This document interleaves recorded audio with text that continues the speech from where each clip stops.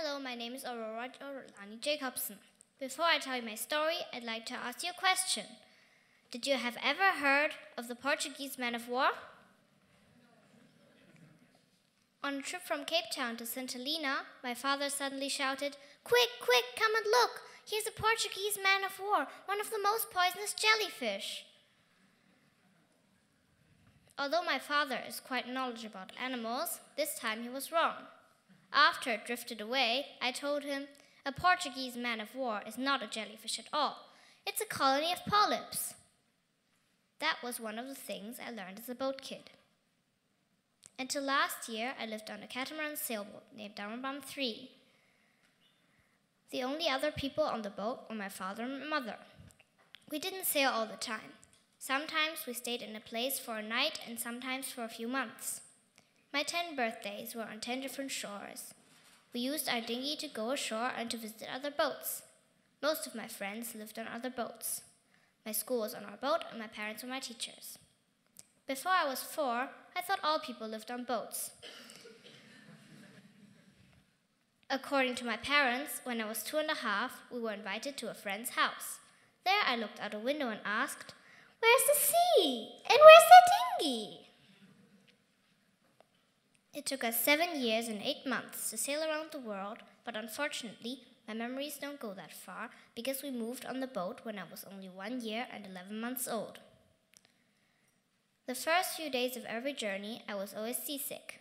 I'd lie in Mama's bed, sleep, and think. Believe me, when you've got nothing else to do, you start to think. I thought about all kinds of things the birds, the my friends, yeah, and how yucky the anti motion sickness pills were. Sometimes, when it got boring, I just simply used my fingers. They can form creatures, and one can fight against the other. I still remember the nice sailing days when I was not seasick, the excitement of getting near new land. Although I didn't have internet or a phone, boat life wasn't boring for me. I made up cool games by jumping around and hanging on the boom and so on. I'd like to go back to the specific boat, but when I can finally have my own boat, I'll be an adult and I won't play my games anymore. Or, have you ever seen a 50 or 70 year old hanging upside down through a hatch? Swimming was another thing I really enjoyed. When I swam amongst the waves, I took my boogie board to be a dolphin. Turquoise Light, her secret name, took me under the boat, where she told me it was the bottom of the sea because of the darkness. Instead of her real name, I told my mom a different one because she wouldn't reveal her name to anyone else but me. A boat is a small space, and I used it all. You may think I'm crazy, but I even missed the dusty corners of Dharma Bum 3. Some were my best hiding places, places to spy upon my parents, where they would talk about love and all sorts of stuff. I felt excited behind the red curtain with beads and beads of dolphins upon dolphins. There I could see through and not be seen. When my parents were not looking, I did all kinds of forbidden stuff. Climbing down the ropes to a mooring buoy, almost sliding off and trying to get back on without my mom noticing. How I miss it when the boat was at anchor, under the star-strewn sky of the foredeck, and the cool breeze making the sea ripple under the clouds. Alone, with no one watching, I sang my songs to nature. When it rained at night, it may have been cold, but truly a blessing for me and nature. The tiny water droplets fell, first slowly, then quicker, onto the mirror-like sea. I could see the stars reflect upon the beautiful surface. The fresh, salty smell of home and nature surrounding me made me feel as free as a wild animal. Papa and Mama read me loads of books before I learned to read. Papa read me German stories and Mama read me Chinese ones. And beyond our boat, we communicated with others in English. At three years and eight months old, I officially started learning English. In general, my education crazy mom gave me a lot of hard and horrible homework, and to tell the truth, I didn't want to do it at all. She made me. We started class after breakfast. The first hour German, the second Chinese, and then we did the rest of the day the class from Melbourne, Calvert School from Maryland, USA. Unlike kids on land who went to regular schools, I didn't have summer or winter vacations, and that meant I only had to stay at home, never got to travel.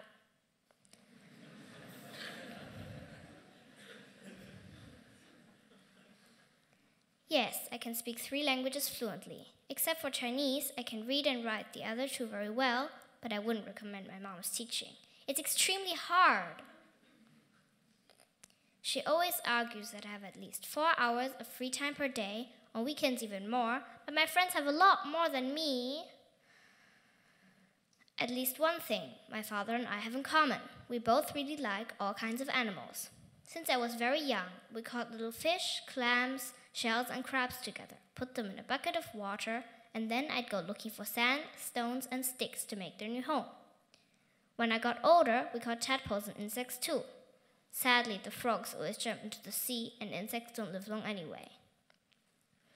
Then, when I was nearly eight, he decided to give me a surprise, a real pet.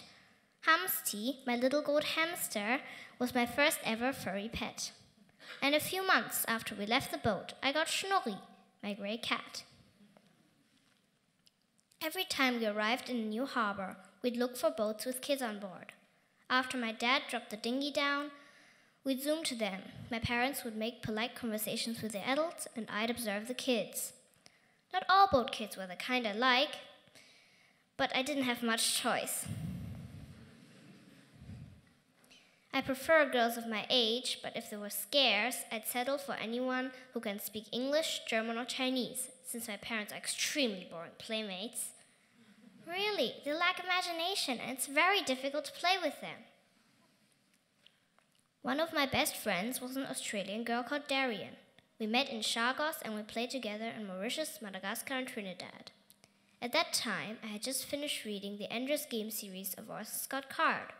We two would go together in big cardboard boxes to travel to anywhere. Instantly, we got out to be in Sydney, her hometown, or outer space, where we flew among stars and landed on planets. Another time, when I was still fascinated by dinosaurs, Dylan and I talked about being paleontologists. We planned to buy a long-tail boat like they have in Thailand to keep ourselves mobile when we went out digging. August 2013, I went into the first real school in my life. All my classmates had already been together for three years, so it was not very easy to join existing cliques. In October, I made a party at our new home to get closer friends, but to get even closer friends, however, was still not easy. I persuaded Lucy to share her secrets with me, for example, after a long talk in a school garden. Now I am a fifth grader at Auguste Viktoria Schule in Flensburg, which is a gymnasium or junior high school. I've got several good friends in my class and also the friends from my old elementary school. We visit each other by bike and bus and talk to each other by WhatsApp and phone. Many people ask me whether I was bored on the boat, and I find this question funny. How could I have been? I had the big foredeck, the sheets and ropes, origami creatures, and stuffed animals. When I was tired of reading, I could play alone. And even when I was seasick, I had my finger creatures to make fun stories with. The second most frequently asked question would be Did you have any friends at all? As I mentioned before, I had many friends on boats and some on land as well. We arranged our playtime in place by VHF, short range radio, and talked to each other by VHF? Yeah, two as well. And we visited each other by kayak and dinghy. It is always sad to leave friends, for us even more so, because it would be very difficult for us to see each other ever again. When the parents decide to say different routes, it would be time to say goodbye. In Singapore, when I was six, I first realized the fact that I'd never seen one of my old friends again. They'd simply vanished. And when I was seven, I wrote this Those were the days, my friend, I thought they'd never end. But they did. I wish they'd come again.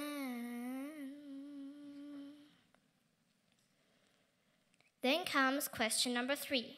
Compare and contrast your homeschooling and the school now. Sounds like one of my essay questions, I'm afraid to say. But okay, I prefer the school now because we have breaks and recesses and there are many friends to play with and talk to. I dislike my mom's teaching because she's so achievement oriented that her lessons are much less fun than the school's. If we ask around, I am sure that most children don't really care how much they learn, and nor do I, despite my mom's best efforts to explain why all this is necessary. But in general, I love to learn as long as I don't have to practice repeatedly. All in all, growing up on the boat and being homeschooled have not brought me any bad side effects, not that I'm aware of anyway. On the contrary, many people comment that I know a lot about science and geography, not to mention languages. Believe me, it's not so difficult to remember a country you've been there. And as for science, what would you do during a long journey when you're not allowed on the foredeck?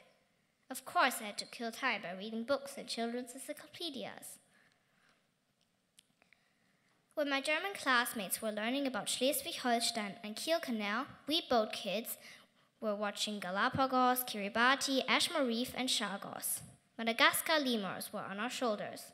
Some of us were touching gigantic tortoises, and others were swimming with green turtles and manta rays. After we witnessed the bloody scene of catching and killing fish for food, we learned to respect nature.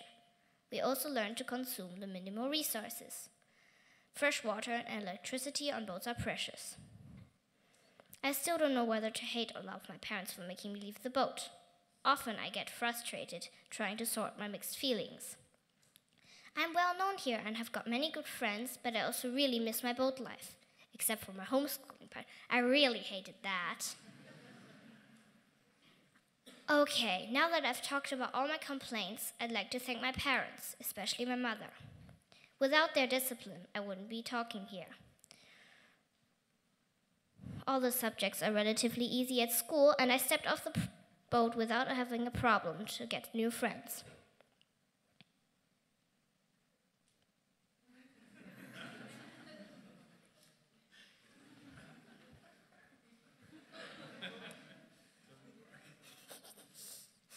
When I grow up, I want to become a vet.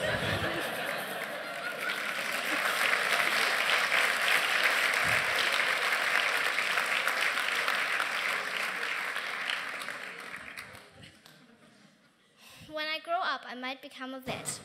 But when you're not even 11 years old, not many things are for sure anyway. But at least one thing I can be absolutely sure of, and that is I will never forget Dharma Bum 3.